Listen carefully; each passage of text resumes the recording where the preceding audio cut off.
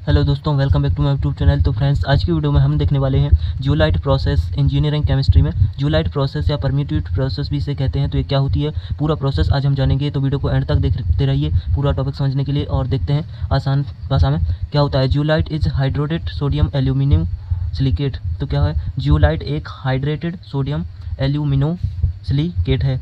तो इसका जो फुल फॉर्म है जियोलाइट को। और जियोलाइट का जो केमिकल रिएक्शन है, वो कैसे लिखते हैं? या केमिकल जो आप इस तरीके से उसका लिख सकते हैं केमिकल नाम। और इसके टाइप क्या होते हैं जियोलाइट प्रोसेस के? तो नेचुरल जियोलाइट्स और सिंथेटिक जियोलाइट्स दो टाइप का जियोलाइट होता है। तो जियोलाइट क्या होता है? जियोलाइट की हम डेफिनेशन और इसका केमिकल स्ट्रक्चर जान चुके हैं। और इसके टाइप भी हम देख चुके हैं। इसके बाद देखते हैं कि जियोलाइट प्रोसेस होता कैसे है। तो दोस्तों जियोलाइट प्रोसेस को आप इस तरीके से लिख सकते हैं इसका नोट तो क्या होता है process for softening of water by zeolite process तो सॉफ्टरिंग के लिए ये प्रोसेस यूज़ होती है जियोलाइट और हार्ड वाटर को सॉफ्ट करने के लिए ये यूज़ होती है। तो ए, एक सॉफ्टरिंग मेथड है जियोलाइट प्रोसेस हार्ड वाटर को सॉफ्ट करने के लिए।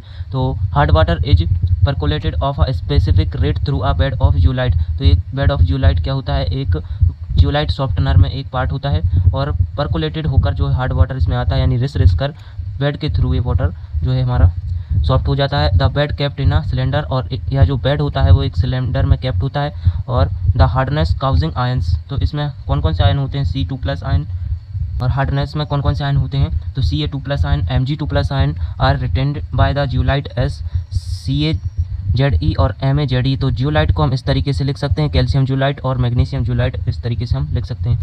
केमिकल रिएक्शन हम इसका कैसे लिखेंगे? तो सोडियम ज्यूलाइट को हमने लिखा, प्लस कैल्शियम हाइड्रोक्साइड। तो इस तरीके से जब हम इसका जो रिएक्शन है, वो देखेंगे तो ये क्या बन जाएगा हमारे पास? हार्डनेस है, कैल्शियम क्लोराइड। यहाँ पर सोडियम सोडियम ज्यूलाइट में जब कैल्शियम क्लोराइड या कैल्शियम सल्फेट को ऐड करते हैं तो इस तरीके से सॉफ्टनेस में बदल देता है वाटर को। और जियोलाइट प्रोसेस के अंदर ये जो केमिकल रिएक्शन है, ये इसी तरीके से होती है और एक जियोलाइट सॉफ्टनर के अंदर तो जियोलाइट सॉफ्टनर का हम डायग्राम देखते हैं और ये एग्ज़ाम में आप इस तरीके से नोट बना सकते हैं बहुत ही आसानी से। एक जियोलाइट सॉफ्टनर का डायग्राम आप स्क्रीन पर देख सकते हैं, कुछ इस तरीके से बनता है और यहाँ पर एक हार्ड वाटर हमारा इनलेट होता है यहाँ से और इस पाइप के थ्रू जब इनलेट होता है वाटर और यहाँ पर एक इंजेक्टर लगा होता है इंजेक्टर पाइप और यहाँ पर क्या है हमारे पास? सोडियम क्लोराइड का सॉल्यूशन भी होता है और इसके बाद ये जियोलाइट बेड होती है और इससे जो रिस्कर जो है वाटर हमारा सॉफ्ट वाटर यहाँ से आउटलेट पाइप के द्वारा बाहर हो जाता है।